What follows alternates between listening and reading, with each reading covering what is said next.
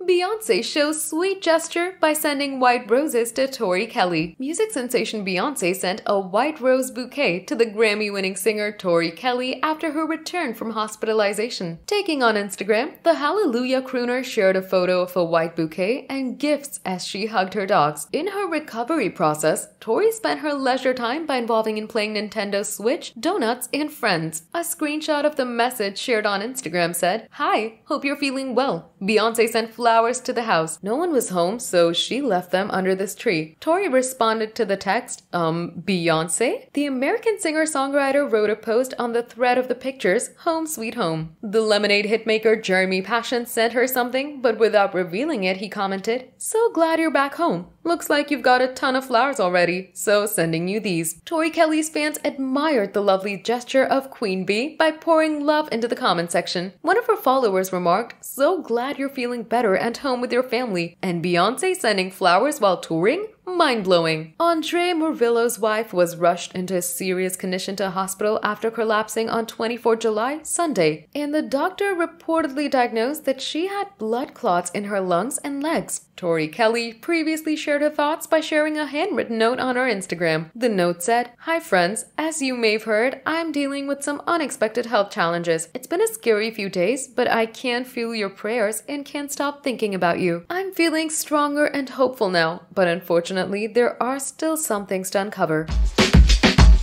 Uh, uh.